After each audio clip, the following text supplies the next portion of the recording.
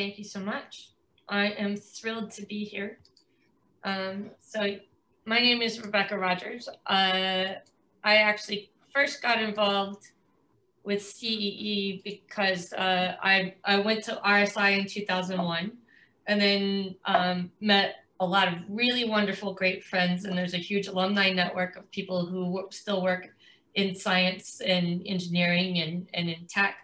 And, and so I've stayed involved in the program and I've taught the biology class at RSI for several years mm-hmm. and also taught at USABO. And, and I'm more than happy to do everything I can to support those programs because they were such a big part of my own scientific development. So I'm an assistant professor in the Department of Bioinformatics and Genomics at UNC Charlotte. And my lab works on how you get brand new gene sequences that weren't there before and how those new genes can either help animals adapt to new environments or potentially do bad things and explain why you get genetic diseases. So we work on mutations that produce what's called genetic novelty. How do you get new genes that weren't there before when you need new genes for adaptation? And people have discovered over time that there are certain types of mutations that are really good at getting you something new and cool and different that organisms can use to adapt. And these are the mutations that change larger chunks of DNA at once. Things like duplications, where you first had one copy of a gene and now you have two copies. And so you can kind of mess around with the extra copy like a spare part and then tinker with it to do something new and cool and different that maybe you need in your genome. And then natural selection will favor that gene. And there are different methods for creating those duplicate genes. You can mix and match pieces of genes and stick them together at random to see what they end up doing and whether or not those create new functions. And we often see signatures of natural selection on these chimeric genes, or you can pick up a gene and you can move it to a different location. And sometimes this changes where the gene is turned on or where it's turned off either during development or in different tissues. And so these are all different types of mutations that can produce innovation when you need it. The mutations occur at random and then natural selection uses what it finds useful. But some of these mutations happen to be useful when organisms need to adapt to new environment. And we over and over again find stories that these types of mutations really matter. So I work in a department of bioinformatics and genomics, and we often get the question of what is bioinformatics? Bioinformatics technically is anything that has lots of information and data analysis that's related to biology. These days, most bioinformatics programs are focused on genome sequence analysis in at least some way. So my group uh, gets genome sequences for different animals. We try to identify these types of mutations and how they form new genes. And then we try to see if we observe signatures of natural selection acting to make them spread through the population really quickly or acting on them to try to remove them from the population, which is a sign that they're doing something bad. So these are a double-edged sword of things that could do good things or could do bad things, but they're le slightly less likely to do um, just nothing important at all compared to other types of mutations. And so we're interested in how they contribute to evolutionary innovation. So how did I get here? So I, I grew up in a town called Florence, Alabama, and it's on the Tennessee River.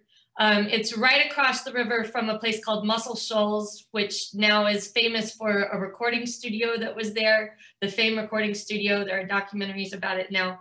Um, but, but it's a relatively small town uh, with a local university and and um, uh, and and along this river. And and so I grew up in this town. I always wanted to do math and science, and I I got some of my first real hands-on lab experiences in in genetics at RSI. That was one of the first times that I had ever been able to do genetic work.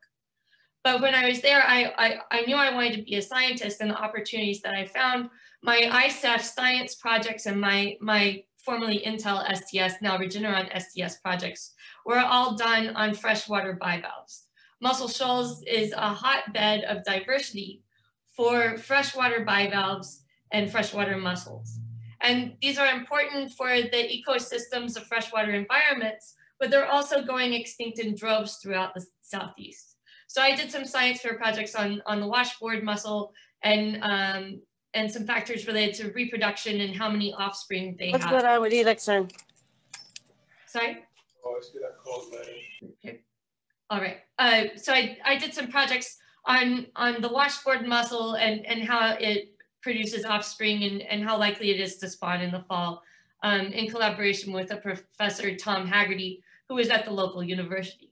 But the whole time I really, really wanted to do genetics.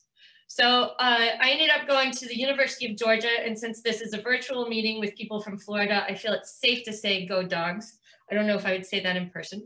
Um, but I ended up joining the lab of a guy named Rich Meagher who worked in plant genetics. He was one of the people who very early on in his career, before people could actually do genome sequencing like we do now, he sequenced a thousand base pairs and everyone around him thought he was just amazing because you had to do the sequencing process through this painful matter of, of cutting things with enzymes that cut specific sequences and running gels and then working the jigsaw puzzle to stick things back together with one another um, and, and see, you know, figure out the puzzle of what the genome sequences were. By the time I joined his lab, he had a project where we were working on a gene family. So different copies of gene sequences that were all formally from one single ancestor gene. They had been copied and then changed just a bit so that they did similar things, but in slightly different contexts. So we were working on phosphate transporters that pull phosphate into plants. And in the gene family, there were some that specialized in the roots to get the phosphate out of the soil.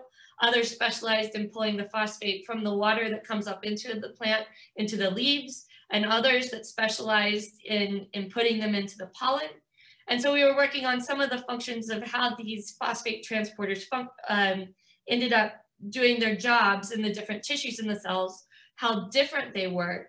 And he was working on some more practical problems of how to genetically engineer those transporters in that gene family so that they could pull toxins out of the soil when there was pollution.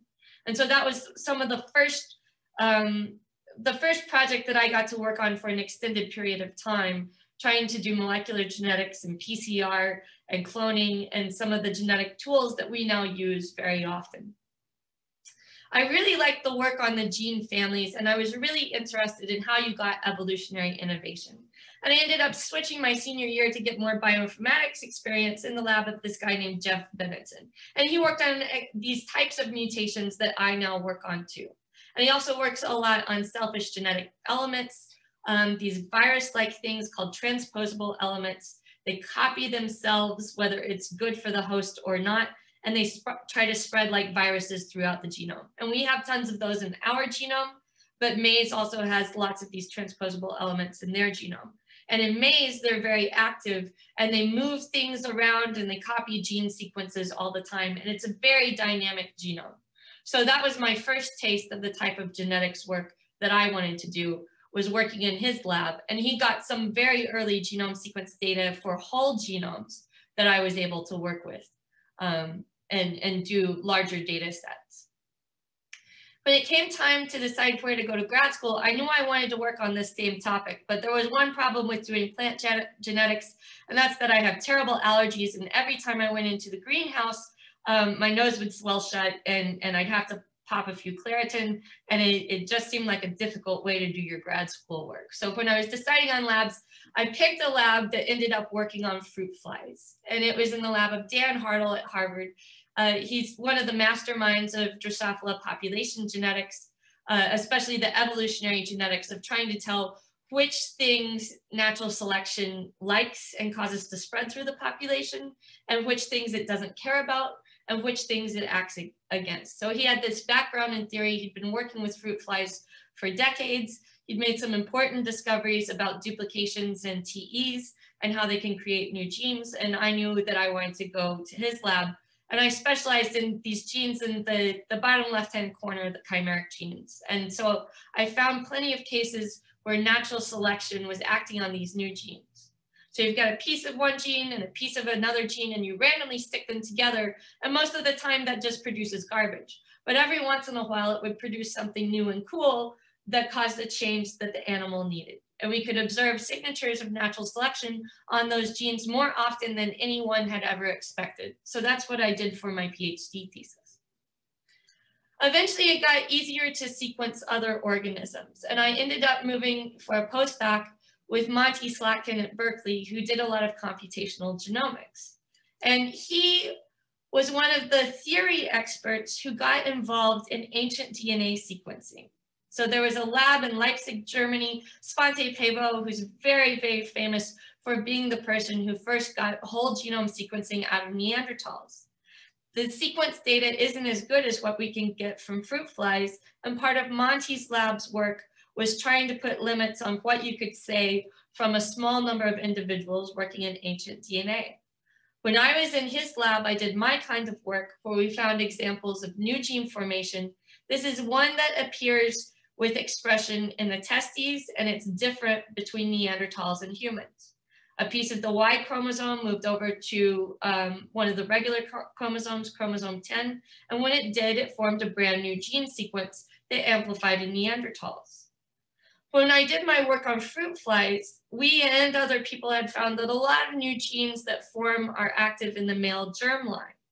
And we, we knew how the bioinformatics worked because we had all this experience working with genome sequence data for fruit flies. So then we could walk into these messy genomes of Neanderthals that weren't as high quality, and we could still work with them because we knew what worked and what didn't based on our work using fruit flies as model organisms. So in fruit flies, we find new genes and we find cases where they form and we find signatures of natural selection. And we find that they're often active in the male um, reproductive tissue, that they're very important for the function of the testes. In Neanderthals, we found lots of mutations that were active in the testes. So here in these two completely different animals, we see a general principle of new gene formation that is associated with male reproduction. And other people in other groups had found that even in plants, new gene formation is more often found in the pollen, in the male germline, than in the ovules, the female germline. And it's kind of a puzzle about exactly what is happening here, how much is mutation, how much is selection for new genes that act in the sperm, how much is that you can just mess around with sperm and they're disposable because you have more, uh, you know, a few million more along with those. But here by working on different animals with completely different biology and working on the same mutations in those different animals, we can find these general principles associated with new gene formation and identify these cases of innovation that are important for our own um, genomes and, and the ways that we have changed over time in our species. But the, the part of my work that I really want to feature today that uh, I think is interesting is one study that I did also on ancient DNA for woolly mammoths. And as I mentioned before, these mutations often in, end up doing, some of them do nothing at all. They're just mistakes that appear in the genome. Some of them just by accident do something new and cool and useful that the animal needs. But sometimes these mutations can also do bad things and we think they're less likely to be neutral impacts than the other types of mutations that can appear in the genome. So somebody ended up releasing genome sequence data for woolly mammoths. I worked in a lab that worked on ancient DNA, and I worked with Monty Slatkin, who had this expertise in the theory and computational methods that you needed to use to analyze ancient DNA. And so I ended up working on, on this woolly mammoth genome. And um, and we found some things that we think are really important for evolutionary theory.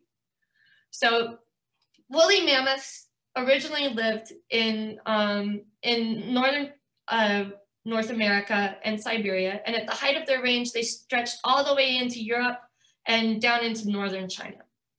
And they, they were grazers that ended up foraging on the open plains. They ate grass. They had these flat teeth that had plate-like grooves on them and they ground up grasses.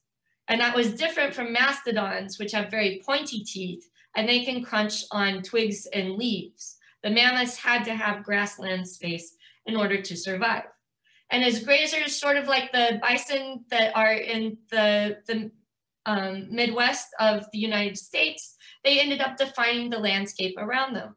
They ate the grasses and kept the vegetation in a certain state and, and then their impacts on the territory also defined the landscape in return. Eventually the climate started to change. And when it did, trees started to grow up over the Siberian steppe. So what used to be wide open grassland was now a habitat that they couldn't inhabit as easily.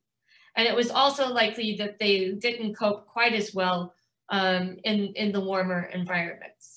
So this was no longer suitable habitat for the woolly mammoths. Alongside that, there were these pesky humans that spread into Europe and, and into Siberia and into the Americas, and they ended up hunting the woolly mammoths.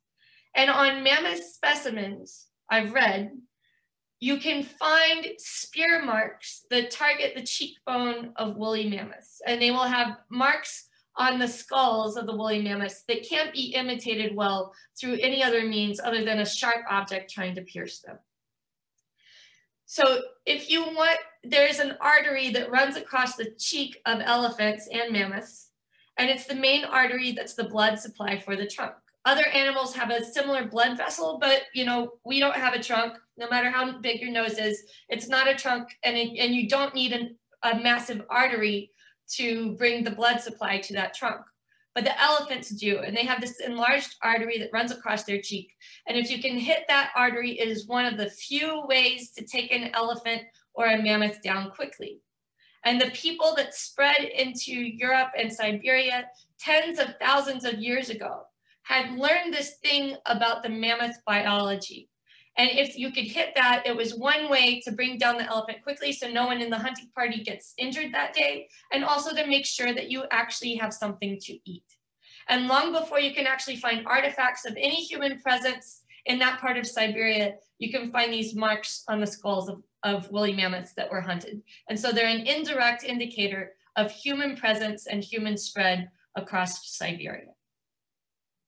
There are also, of course, Columbian mammoths that some of you may be familiar with, um, where in Los Angeles, there are the tar pits where Columbian mammoths who live further south ended up getting trapped in the tar. And they've been able to recover whole skeletons for multiple individuals to look at diversity in populations and how it was different over time and how many individuals were likely to be in the area. In Siberia, there were also Arctic explorers who ended up finding woolly mammoths frozen in the ice with skin still on their bones and, and with fur still on the skin in some places. As you go forage across Siberia, you can find sometimes these mammoths that are still, you know, freeze dried, but fairly well intact. And so these are animals that have a very significant paleontological record. We have lots of, they're not, they're not considered true fossils like dinosaurs, but we have lots of records of their bones. We know a lot about their diversity. We know where they lived. We know what they looked like because we can find these specimens still intact. And when I heard about this in elementary school, I thought that was about the coolest thing I'd ever heard in my life. It was the closest you could get to having a time machine to see this thing that lived tens of thousands of years ago before anyone you ever knew was ever alive and you could still see what it looked like. And I went home in kindergarten and I told my dad and my mom that I wanted to be a woolly mammoth explorer and go find them in Siberia. And then my parents sat me down and had a talk with me about how to go get a real job and support yourself because woolly mammoth explorer just isn't gonna gonna cut it with the with the salary that they get. And so I moved on with my life and, and made them proud by becoming an evolutionary geneticist. But then one day, a really exciting thing happened, which is that Eleftheria Palkopoulou and Lova at the Swedish Museum of Natural History published genome sequence data for two mammoths. One was a juvenile individual that came from 40,000 years ago that was identified on the mainland. And it was one of these that was found with the, with the tissue still intact. And then the other comes from a tooth that was found on a place called Wrangel Island. And they got high quality, high coverage genome sequence data, almost as good as the Neanderthals for these two different specimens. And I had wanted to work on woolly mammoths for my whole life. And I went to coffee with a friend, actually Boris Alexeyev, who's also an alum from RSI. And I told him about this and he said, well, it's fortunate that at least some of our kindergarten dreams actually can come true. So I started analyzing the genome sequence data and truth be told, I didn't really know what I was gonna find, but I thought it would be super cool to work on mammoths. And we ended up finding this story written in the genome, written in the DNA sequences that told a story about the woolly mammoths and their decline. That was interesting if you have always been the kid that wanted to work on mammoths, but it's also interesting for those of us who are interested in, in evolutionary theory. All right, so Wrangel Island is off the north coast of Siberia. It is a very cold and bleak place. Um, it's often hit by Arctic cyclones and, and because cyclones hit it and it's so cold, it's so awful to live there that trees can't even grow up on the island. And that sounds like a place you don't want to build your summer home. But for the mammoths, this was in fact a great habitat. It was far enough from the mainland that it was very dangerous for humans to get there. And they didn't arrive until around 3,700 years ago, coincidentally around the same time that the mammoths on the island went extinct.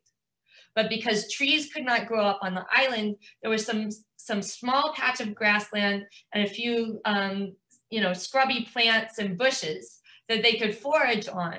And this ended up being a protected habitat for the mammoths, where they ended up surviving another 6,000 years after everything on the mainland has gone extinct. So there's this small population of mammoths hanging out on this island. There are none of them left on the mainland and they're chilling out here and then humans finally get to the island and they there's no direct evidence that they hunted them to death, but it's an awful coincidence of when they arrived. When they got to the island, the mammoths on the island were actually smaller than what you would see on the mainland. They weren't true dwarfs. They were about 10 feet tall instead of 14 feet tall. Um, and we know that small elephants will sometimes appear in populations and they do really badly, especially if they're male. The petite elephants often get driven out of the herd. They get beat up. If you have one in the zoo, um, then you have to keep it separate from the other elephants so that, so that it doesn't get hurt, which is a little unfortunate. But there was actually a principle of repeated island dwarfism in mammoths and elephants. Elephants and mammoths repeatedly invaded different islands so long as they were close to the shore of the mainland. And when they did, they repeatedly got smaller. In the Channel Islands um, off the coast of California, close to LA, there were six foot tall woolly mammoths or Columbian mammoths. And then on the island of Crete, there were four foot tall mammoths. And some people think the legend of the Cyclops actually comes from finding the elephant skulls where the, there's a hole where the trunk would go and they interpreted that as being a giant with a single eye. But there were these cute little petite little mammoths hanging out on those islands too. These were not quite as small, but they were definitely smaller. One of the questions we often get is how did the mammoths get to the island? And the answer is we're not totally sure. There's some debate about how big the ice sheets were at different points in time as the climate warmed. Could the mammoths walk across only in winter? Um, we know that around 14,000 years ago, they could go back and forth from the mainland to the island. And they, based on isotope ratios in the bones, you could track where they were foraging. And there are signatures of the isotopic ratios on the mainland and the island. By 12,000 years ago, the population was completely separate. There's also this debate of how far could a woolly mammoth swim in Arctic waters. So long as the waters are warm, elephants can swim up to 100 miles from the shore. Any island that's within 100 miles, they can get to. And they can swim 50 miles a day. They have phenomenal endurance. They float really well. And then they use their trunk like a snorkel if they need to. So there's sort of, no one thinks that elephants adapted to be able to go for a swim off the coast of the, the north of Siberia. But they, in fact, if they could have withstood the cold, would have been able to swim long distances to get to these different islands. Is that what hap happened in the Arctic? It could be that it was too cold. It could be that it was okay in the summer, and we're not totally sure, but it is one possibility and certainly a factor in other island invasions. So there's this island of mammoths and they're separated from the mainland in a very small population. And to put this time scale into perspective, at 3,700 years ago, when they went extinct, Ur of the Chaldeans had risen and fallen. The pyramids have been put up in Egypt. They've put up Stonehenge in England. In the Americas, they've domesticated maize. In the Arabian Peninsula, they domesticated horses. And I don't know why, but nobody ever domesticated a woolly mammoth, and I'm kind of upset about it because if they had, we would still have them around. So they're isolated for, for another 6,000 years by themselves. And you can see the story of their isolation written in the DNA. On the y-axis of this graph is the size of the population at different time scales. On the right-hand side of the graph is far back in time. On the left-hand side of the graph is the closest time point to where we are today. And remember, there were two mammoths. The woolly mammoth that came from the mainland that died 40,000 years ago. Its population size that it lived in was relatively healthy. It was around 15,000 individuals, which is better than we see for any elephant alive today. Um, and there were probably lots of them out roaming the open steppe. As the population sizes were smaller and isolated, you can see that genetic diversity drops and drops and drops because of these small population sizes. When you get small gene pools, you have less diversity and it's written in the genomes of these individuals. And we in fact know, even before we look at these graphs, that the mammoths went extinct. So we know this population is doomed. This was an interesting scenario if you work in evolution. There were theories that have been discussed of nearly neutral evolution. And to, to put it quite simply, it means that bad things happen when your population size gets small. If you have a small gene pool, you can have individuals that would be outcompeted in a big gene pool. If you have, you know, 15,000 individuals in your population, then, then you know, you don't necessarily need for that one individual that looks a little strange to survive and reproduce, and they get competed out. In a small gene pool, then just by chance, it may happen that that individual with some bad mutations ends up reproducing and you get bigger effects of random chance that's called genetic drift. And so there were these theories that said when population sizes are small, you should start to observe bad mutations accumulate. Most of that work was from a purely theoretical perspective. Some of it was from comparisons across species, but if you compare humans to bacteria, there could be lots of different factors that are causing those genomes to look different. Here we have the same species and we have a snapshot before and after the population size gets small. And so we can see what happens in the DNA. What we observed is that the island mammoth had lots of bad mutations. He had more deletions. He had a higher proportion of deletions that affect gene sequences and break them, more stop codons that would break gene sequences, and more retrogenes and more transposable elements, those virus-like things that we discussed earlier. And all in all, 50% more of his genes were broken in comparison with the with the mainland mammoth. Sorry, I lost my sharing. Excuse me. Standard for Zoom. All right. So all of us have some bad mutations in our genomes. Most of them are recessive. So if we have one working copy of the gene, we're okay. But for all of you, if you were asked, do you want to have 50% more of your genes broken? And do you want to have more of them completely deleted? Uh, as you want to have more of them have both copies on both chromosomes deleted, I don't think anyone in the Zoom room would sign up for that. And so there was this excess of bad mutations in the island mammoths. One type of change that we saw is that the olfactory receptors and taste receptors had changed. We don't know exactly why. One possibility is that they met new plants on the island that they needed to eat, that they would have found icky before and they wouldn't want to eat their vegetables.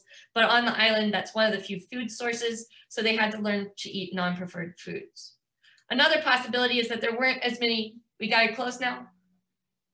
Five right. minutes, okay, good. We That there weren't as many predators on the island and they didn't have to smell them coming. And so um, they just didn't need those genes anymore. And then the third possibility is that if you knock out a smell receptor, that mammoth is not going to drop dead. So it could be that it's doing okay, but not great. It would be better if it could smell things, but it's not going to be so terrible that if it it will make the, the mammoth either die or, or completely fail to reproduce. And, and we don't know which of those factors, but we know that something was going on with these with these receptors. Alongside that, there are these urinary proteins that, that are involved in social interactions. They're involved in mating, they're involved in social hierarchies. They're similar to what happens with dogs, you know, where their urinary proteins are part of their signaling and the same is true in mice. And so those same proteins that would have been picked up by the olfactory receptors were also degrading through time. So we have these two sets of related genes that were being deactivated in the mammoths, and it must have had some kind of impact on their biology, although it's hard to get complete precision.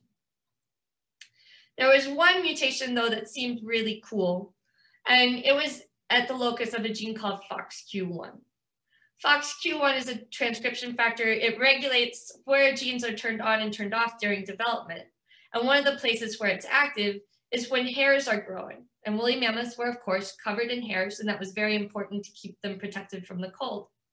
If you delete this gene sequence, it had a deletion on one of the chromosomes, and then it had a stop codon that broke the gene on the other chromosome. So two different ways to break gene sequences at the same gene site. And that's some pretty bad luck. I mean, this mammoth had a lot of bad mutations, but that's still bad luck. So it would completely wreck the function of this gene. Part of what it does is produce the stiff inner core of hairs.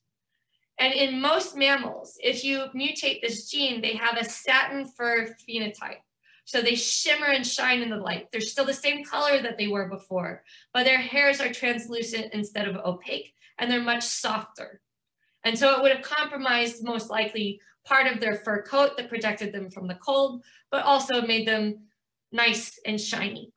So this poor little mammoth has a lot of things going wrong in his DNA and 50% more of his genes are broken. And we can even look at his genome and find some things that look really, really bad that might have given him terrible diseases. But at least he was really, really ridiculously good looking. So now in my lab, uh, I, I have a lab where we're working on the same kinds of mutations that copy and, and move genes around the genome and how they produce new genes. And we want to know how are these same mutations affecting other animals? And I have a graduate student, Ritika Malik, who's look, looking at these virus-like transposable elements and how they can wreck genomes. And we're working on these in modern day elephants. So we're trying to get genome sequencing data from elephants from zoos. We've also got elephant bones that we've gotten from museums. And we're trying to look at how much that transposable element content has changed where are the duplications? Do we see any cases of new genes forming in Asian elephants? And how have their genomes degraded as they become endangered in the wild? We're looking for other species as well that are um, experiencing uh, either extinction or under threat. And as it turns out, our freshwater bivalves from Muscle Shoals, Alabama, it, in my hometown, it's a hotbed of diversity for these species. But we know that throughout the Southeast and Northern America, that 70% of freshwater bivalve species are becoming endangered and extinct. And in the past 100 years, in the lifetime of living individuals or, or two individuals, multiple species have completely disappeared from the wild. There are populations that used to be extremely common with millions of individuals, and now those populations have crashed because of pollution, because of invasive species like Asiatic clams and zebra mussels, um, because of human encroachment, because they fish them out of the river to turn them into pearls. And so we want to know what's happening in their genome. So I'm also living my other, other um, dream of generating reference genomes for these freshwater bivalves. We already have a reference genome for my favorite Megalonaias nervosa that I use for my ISEF projects. We've collected 12 other or 15 other species that we're also trying to sequence to see what's happening in their genome as they have become threatened and endangered. Are they accumulating bad mutations or are there other new genes that are appearing that help them to adapt to these new selective pressures that have showed up as humans have invaded their environment? So that I think brings us to full circle of the types of things my lab does where we study these same types of mutations in an evolutionary context in different species to try to see if when they matter for adaptation and when they do bad things to genomes in the wild. All right, so that I hope I didn't run too far over. Ah, no, you were great. We have a few time, a little bit of time for. Yeah, no, we have. Uh, yeah, we definitely have some questions. Um, so, what first question is: um, Is there any sort of correlation that you can see, or others have seen, between sort of the various types of population pressures that pressures that might be on a population of species and the types of mutations that occur? Right. So in in the freshwater bivalves, we know that they've been affected by pollution. And then when we generated the genome sequence, we were At first, I thought we were just going to generate a genome sequence and we were going to send it out to the world and some of the bigger projects would come later. But when we looked at the genome, there were all these genes that were duplicating in the detox genes. And so it was like the genome had turned on a Xerox to make extra copies of everything that acts in detox. And we know that this river was really polluted. They used to spray it every single summer with DDT to get rid of the mosquitoes. There's also runoff from pesticides in the cotton farms nearby and, and some pollution from industry. And these freshwater bivalves can take a ton of pollution and still survive. And one of the ways that they do that is most likely by getting extra copies of the detox genes. So we, we have, um, we have a, a, a little bit more than a dozen of these genes. Mice have someplace, I think around 23. And in these freshwater bivalves, we found 140 something of them in their genome. So, so we do see changes that reflect their biology. We go into it agnostic and we see what we find, what's amplifying, where do we find the signatures of natural selection? And that care tells us what the animal cares about. But we certainly see things that fit with their environment and the pressures. Awesome, thank you. Um, all right, so another question is, um, so they recently, there's recent news about the, the chameleon that was found in Madagascar after 100 years, mm -hmm. um, again. And I get curious to know, um, you know, if they, I know, especially in Madagascar, some, some of those animals are very hard to find, but I guess, yes. is that indicative of um, sort of small populations and potentially um, yes. mutations that are very, that are detrimental to their species? Right. So there are people who have worked for decades on mass extinctions and, and island species seem to be very vulnerable whenever you bring in another similar species from the mainland. They get outcompeted easily. And some people have hypothesized that it's because of the small population sizes. People now have the ability, it's become so much easier to sequence any animal that you want to, that there are ongoing studies across, you know, everything from cheetahs to probably the chameleons, the lemurs. Um, people have actually gotten fruit flies from Madagascar and from other islands to see how different their genomes are. Um, and so those are open questions that people are studying now. Um, and we, we certainly expect to see very different things in, in different island environments or anytime you get a small population. It's a very active field of work in conservation. Awesome. Um, and so for a more fun question, mm -hmm. um, so if you had a like really good sample of mammoth DNA, could you basically Jurassic Park it with modern elephants? So there, there are people who claim that they can clone a mammoth. There's a, a colleague named Beth Shapiro who's at UC Santa Cruz, and she wrote a book called How to Clone a Mammoth. And the punchline is that you don't. Um, it's very difficult to get high enough quality DNA, even from the frozen samples, and repair it. You can get some fragments, but it's not intact enough to do the cloning tricks that you would do on something that's alive right now. There is a guy at Harvard named George Church, and he has taken elephant cells and he has used CRISPR to modify the elephant cells and make them more mammoth-like. He claims that he's going to use this to make a mammoth and then the ethics boards told him that he can't do this by using an elephant female as a surrogate because they're endangered and it's too risky and there's too much chance of something going wrong with both the mother and with, with the mammoth. He's now said that he's going to build an artificial womb for the mammoth, and it's only five years away. It was also only five years away when I was in graduate school in 2006. Mm-hmm. So we'll see when he actually shows up and does it. But there are people who are working on, on creating mammoth-like things. Um, and, and, certainly people that are probably going to try in the near future, whether we want them to or not. So someone else, we were also curious to know if um, if all of your work is fo focused on endangered species? Um, so these days we, we have some um, funded work that's working on fruit flies where we're still doing fundamental genetics. And we want to find the new genes that help them invade new environments. They happen to be on islands at the moment. Um, and we're surveying to see if you see lots of brand new genes that end up being important and favored by natural selection, when you invade a new environment on different islands. And so we've, we've got different islands off the coast of Africa. They were originally in the mainland of Africa, then they spread all over the world. Uh, and we're looking at different species of fruit flies and how they adapt.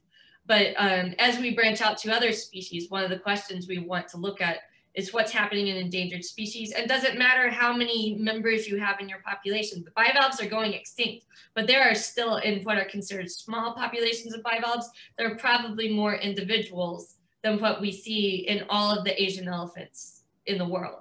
And so does that matter in terms of the math and the evolutionary theory and, and some of the um, some of the questions that are related to things that used to be purely math papers, we think we have a hope of addressing by looking at these different species. We'll see what else comes up next. Um, I keep talking about if we could get clinical samples for humans, it would be really interesting to see what these same mutations are doing in that context. Um, and I've had some some rotation students explore it, so that could happen in the future as well. Oh, that's very interesting. One last super fun question. Besides woolly mammoths, which other extinct species would you like to study? Oh, great question. Which other species would I like to study?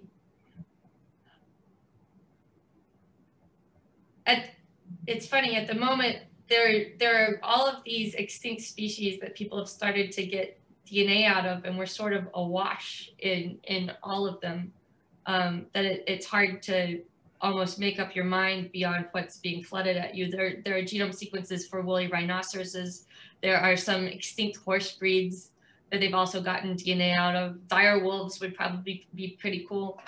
Um, one of the things I've talked to a colleague about when we were both daydreaming about new projects, we're both too busy to pick any new projects. That's not allowed, especially right now. Um, but, but there are species like the devil's hole pupfish, where there are so few individuals alive that they know every single one, or this blind cavefish in Alabama back home, where they're on the brink of extinction and they have been in a small population for so long. What's happening with them? And those would be really interesting, both in terms of evolution and and working on endangered species. Awesome, thank you. Thank um, you so um, much for having me. Yeah, wonderful. We're so pleased to have you, um, and especially since we're virtual. Um, because we're never we're never we're not in South North Carolina, we can finally have you speak to to an audience. Absolutely. So we're thrilled.